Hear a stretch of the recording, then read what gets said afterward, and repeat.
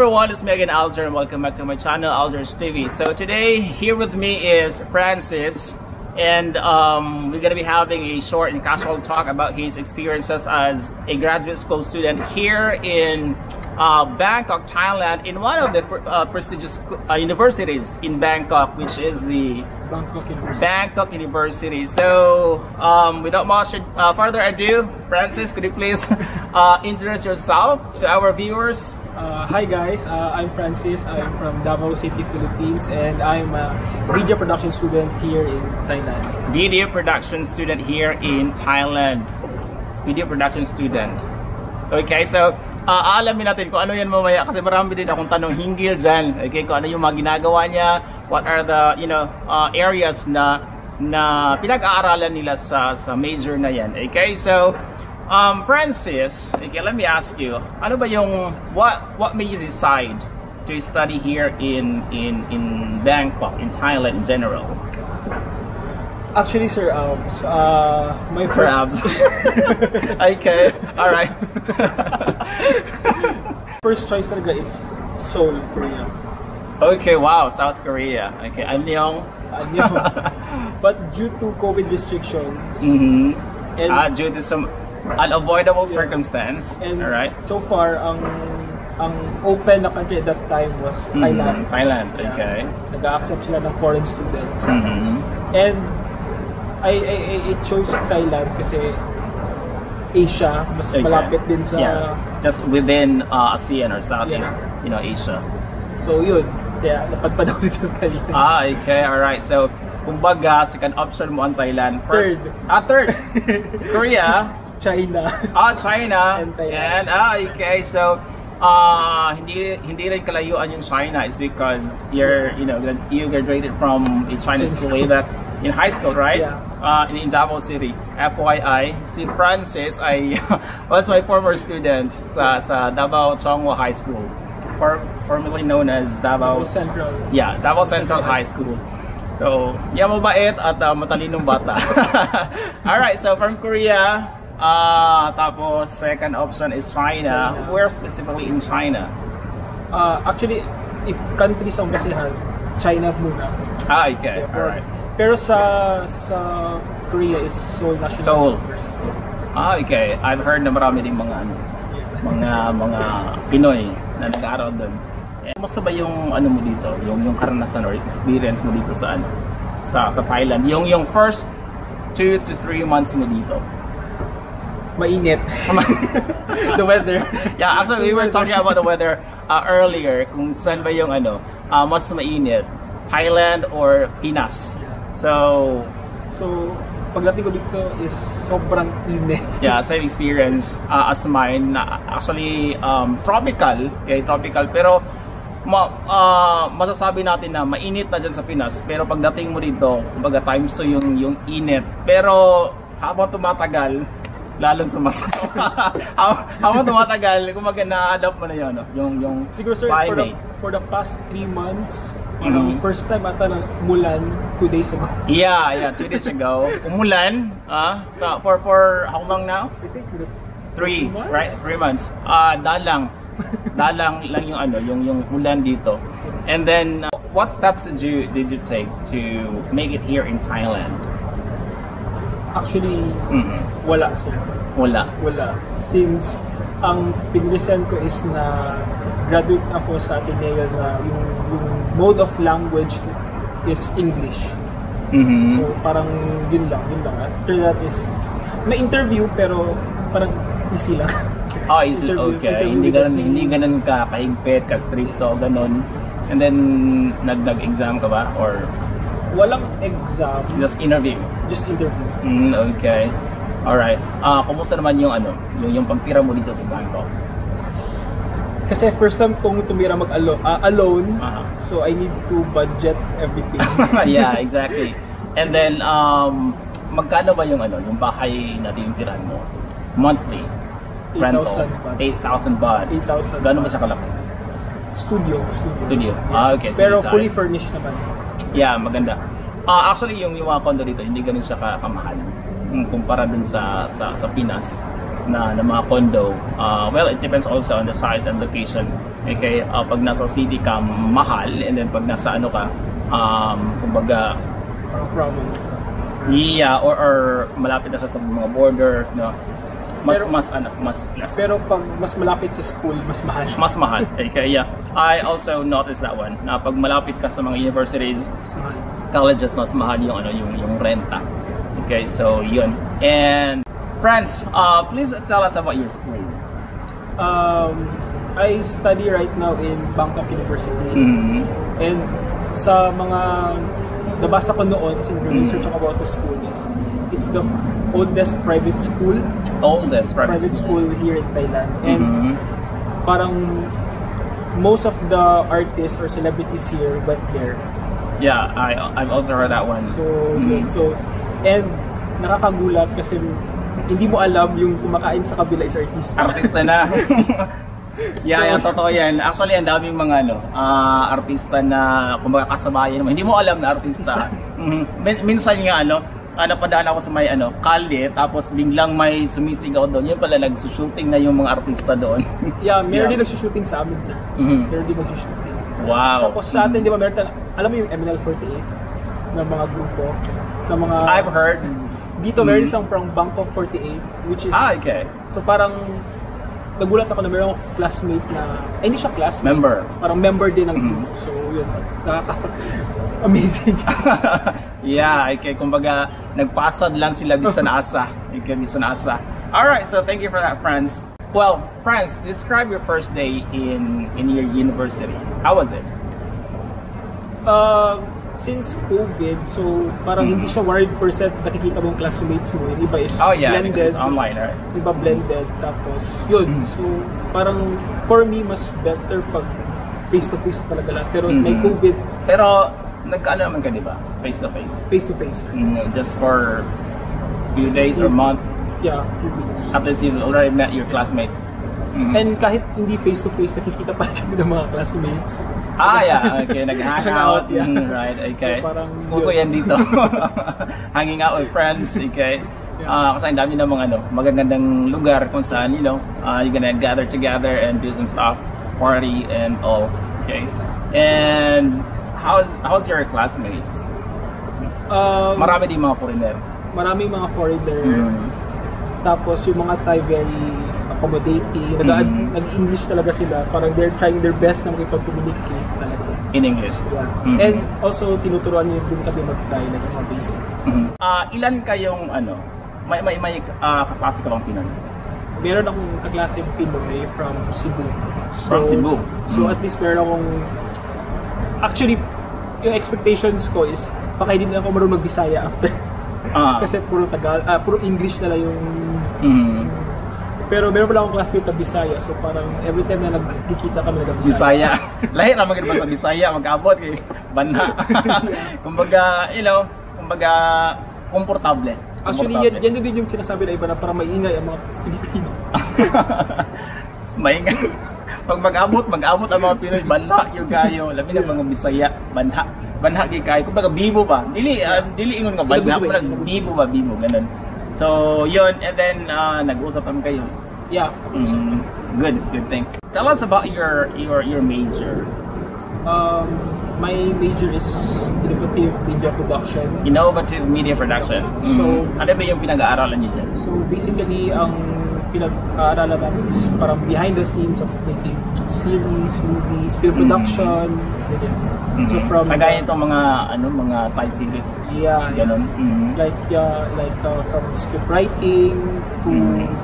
editing, post production. So yun yung pinag-aaralan namin ngayon. Mm, I see. Mahirap ba? Okay lang. Okay lang. parang mas pag passion mo yung pinag-aaralan mo, parang okay lang. yeah, parang mas madali na Madali, lang. madali. Kasi Yeah. gusto mo eh. Yeah. Mm. Your, your, your eagerness and willingness to learn, kumbaga, andun na. Kumbaga, Yeah. ma- mas, mas napapadali Yeah, mo. parang Mhm. kung ma- mahirap parang sa challenge ka, parang parang mas easy. Yeah, you will be driven with your passion. Kumusta yung experience mo learning with international students also? Um, um, nag-a-adjust Mhm. kasi I like, I like sa Philippines parang parang you can talk to anyone Yep. na kung ano yung gusto mo sabihin, kung ano yung thought na gusto mong sabihin, dito parang Na-express mo. na-express. Dito. Dito, parang you have to think the, the exact word. Yeah. Kung ano yung gusto mong ah, sabihin sa kanila. Alright. So yun, yun lang, communication. Pero Mhm. parang we meet halfway lang. Yep. When it comes to uh, uniform, required ba kayo? May uniform ba kayo? Kagaya, na, ah, kagaya sa, sa Pinas, may uniform dito. Ah, sa international program, hindi required ang uniform. Mhm. Pero may, may uniform, pero it depends on you if you want to buy or not. Pero hindi kami Ah, okay. required. Hindi sa mandatory. Hindi mandatory. So, Mm, I everyday wash day. Yeah. So, And then, uh, when it comes to uniform, di ba may ano sila dito? Walang standard na taas.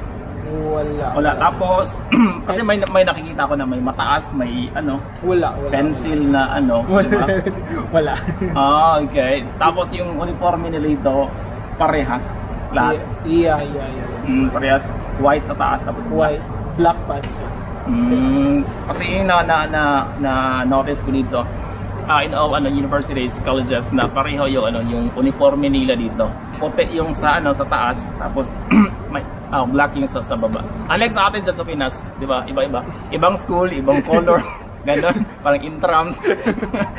Makulay ang buhay, di ba? Ah, yun. So, dito, wala. Pareho, kumaga, pareho, pareho lahat. Mag-vary lang kasi may nakita ako na may may maikli tapos may mataas na, na palda sa, sa mga babae. What about the subjects? Mahirap ba siya? Ang mga subjects, Um, minor and then major subjects. well, ang difference dito is yung minor is parang major.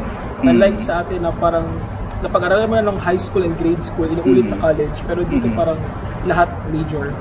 So, Mm, okay. walang minor. Ah, okay. Kumbaga pareho lahat. Pareho lahat. Mhm. Wala, kumbaga sa atin doon is itong minor, kailangan mong kunin, kumbaga general subject siya. General Tapos subject. dito, Lahat parang major, parang major lahat. Mm, okay, alright. So yun yung magkaibahan, Yeah. right? Ah, I see. So how's that? Kumbaga, paano mo tinitake tong mga subject na to? Actually, nakaka... Like, for now, is second semester. Nagulat Mhm. ako na parang ako pala magpipick ng subject. Un- Mhm. un- unlike no, sa Philippines na parang meron ng ready na course set. Mhm. bigay. Yeah, na nakukunin mo. Yeah. Dito is parang Mhm. ikaw na magpili. So parang walang pakialam yung university kung ano yung kunin mo na course Mhm. or na subject. The subject Yeah. for that semester. For as long as uh, Mhm. ma makumpleto mo lahat ng units na required nila. I see. Okay. So, So, un- unlike sa Philippines, you have the freedom to choose. unlike sa Philippines, parang Mhm. you have to take this subject before this. Okay, parang, Parang prerequisite. Dito Ah, parang okay. it's up to you. Ano. I Basta see. in, in, in three years, ma- Matapos siya. matapos ko yung lahat ng subject. Mm, I see. Well, interesting. Kumbaga, well, you have the freedom to choose, right? Um, Pero meron silang recommendation kung ano yung gusto mo. ano, ah, okay, for that pero, specific semester. pero kung ano yung gusto mo, ikaw lang. Hindi sila automatic sa system na enrolled ka na. Ah, okay. Yeah. All right. Mm, wow, interesting, isn't it? Right? So, kung gusto mong kung gusto mong ah, ah, mag-aral dito, so ganun yung ano, kumbaga mararanasan mo, mga experience mo. So, yun, you have the freedom to choose the subjects that you want to take for that semester. Okay. Ano ba yung ano, kaibahan? Ano yung kaibahan ng mga subject dito at saka sa Pinas? Di, ang, ang na-compare ko is dito mas focus na dun sa course mo. Mm, okay. That Unlike- you're taking, right? Ano yung Korea Mm. ano yung tinitake ko. Unlike sa Philippines, ang dami sa Ang dami. Ang dami, May history. Yeah. May math, kahit may science, kahit hindi naman related yung course mo sa science or something. Mm. Parang, Dito, nakatutok talaga, Sa talaga course, dun sa yeah. uh, kursong kinukuha mo. Yeah, yeah. Mm, I see. Maganda din, di ba? Kasi, kumbaga, ma, ma, ma, mabibigyan mo talaga ng atensyon, Yeah. ng focus, yung, yung, yung, yung major, Yung course. mm, yung kurso na kinukuha mo, uh, which is good, right? Mm, unlike sa atin kasi marami, di ba? May minor, may minor subject, may major subject, parang ganun siya. Um, yep, at saka mga prerequisite na mga subject as well. Mm, Okay, alright. So, mahirap ba? Okay lang. Okay lang. Mataas naman yung aking GPA. oh, wow. Clap your hands, guys. alright. Dapat lang. Kasi Dapat okay. Alright, so, friends, kumusta naman yung mga guro mo, your teachers? Ano ba? Ah, kagaya din ba dun sa atin ng mga terorista na mga guro? Or mga ano? Actually, parang mas accommodating yung mga teachers dito. Mm, mga professors, okay. yeah. Mhm. And parang sila yung nag adjust sa student unlike sa atin na dapat tayo mag-adjust sa teacher. Mhm. So Mhm. parang sa habol, habol-habulin pa yung mga teachers, di ba? Sa Pinas? Yeah, yeah. Dito? parang finifeed nila sa student kung ano yung Mm. Ah, okay. Well, it's also understandable because you know we're in the middle of pandemic, so Yeah. teachers should also be more understanding to to their students. Kaya ganun, And- uh, which is also advantage, right? And so far, naka two semesters ako wala akong books. Wala, Ah? wala akong notebook. Oh, okay. So Parang it's all in digital. Mm, Yeah. Right. All right. well, binibigyan naman sa mga Ah, binibigyan, estudyante yung yeah. ano, di ba? Yung mga mga presentation, presentations, yeah. Binibigay sinasend sa mga Yeah, uh, Alright, well, it's good. Wala kang aklat, wala kang notebook, Wala. notes, Ballpen. everything, pen. Wala. well, it's good. Digital world. Okay, so well, that's what actually we're we're doing here in in Thailand. We're just uh, only sending the material to our students. Yeah. Mhm. And then uh, kahit minsan nga nire-require ko din yung mga estudyante ko na mag ano, mag take note, ewan ko lang. no assurance kung ginagawa ba nila yun. Pero yeah, as a teacher, you know, just just do whatever uh, things you know na, na ni-require sa na dapat mong gawin. All right? So it depends on the students and how they're going to you know, uh, receive or reciprocate to your instructions. When it comes to, let, let's talk about the facilities of the school. Um, Maganda ba? Na-amaze ka ba? Kasi mag I've heard maganda yung eskwelahan niyo, di ba? uh, at yung first time ko pumasok sa job, Mm. na-amaze ako parang, yeah, sulit yung vision. So, so malaki ba? Ma- malaki, meron, Mhm. may lake, may, may, for my course, meron kaming studio, studio Mm, talaga, wow. like, for, for, For ano, for kumaga yung production for ganun. production talaga, like, Mhm. may camera, lahat, Mhm. lahat. Wow. So you will really be exposed to Yeah, the real, you know, setting. Yeah. Parang ganun siya. Mm, okay. Kumbaga kompleto yung yung ano, yung ano mo tawag doon? Yung facilities, equipments or whatever. And parang yung university namin is parang naka-partner siya sa mga TV network dito sa Mm. Thailand. Like, yung nakita ko is GMM Mhm. and 131 or 131 Mhm. uh, network. So, parang okay din siya for exposure. GMM, FYI, GMM, doon lang. Huh? GMM. doon and then yung Channel 3, andun lang din sa, sa gilid namin. Malapit lang actually. Free sila or mga shows na parang co-production ng Bangkok University. mm, So, I parang, see. parang okay siya. Mm, kaya pala marami ka nakikita mga artista doon. Yeah. Mm, I see. Uh, well, baka mapanood ka na namin sa TV. yeah, directing, you know, uh, Thai series like that. What about the, the deadlines? Stick ko ba yung mga teachers mo? Hindi eh. Hindi strict. Like, if may, may assignment parang one Mhm. week, eh, parang they're giving us time. Time. Yeah. Okay. Para Mhm. kahit kahit kaya siya one day. kahit kaya siya one day pero sige, one week. Ah, okay. Alright. so parang for me parang assignments is okay lang. And hindi siya ganun ka heavy. Mm-mm. So, hindi And- din ganun ka stricto yung mga ano, And parang most of my assignments are group assignments. group assignments. Mm, I see. What about the university itself in general? Ano ba yung ano? Ang masasabi mo na, okay, ito. ah iba to, kumbaga mas unique to kumpara dun sa ano, sa Pinas. Mas updated yung mga equipments and parang malaki. Malaki. Yeah. I see, okay. Uh, yeah, yun din na Kasi nakapunta ako ng isang university dito, dito sa Chulalongkorn University. Napakalaki. Kumbaga kung malaki yung UP dyan sa Pinas, kumbaga yun din yung equivalent dito. Yeah. Mm, yung Chulalongkorn, malaki din siya. And then, kumbaga, state of the art, yung mga university dito. Kumbaga, makikita mo, universidad ba to? Parang hindi. Parang, ano ba? Parang, yeah. Na napansin mo ba din yan? Yeah. Friends, tell us about your ups and downs. Yeah. So, you know, as What do you mean by ups and downs? your experiences. Okay, kumbaga, ano yung mga naranasan mo na ano na hindi maganda at Oo. maganda na, na masasabi mo within within your stay here for seven months, right? Yeah. Seven months. So within that that uh, span of time, ano yung mga naranasan mo na masasabi mo na ah, this is my you know saddest time moment here?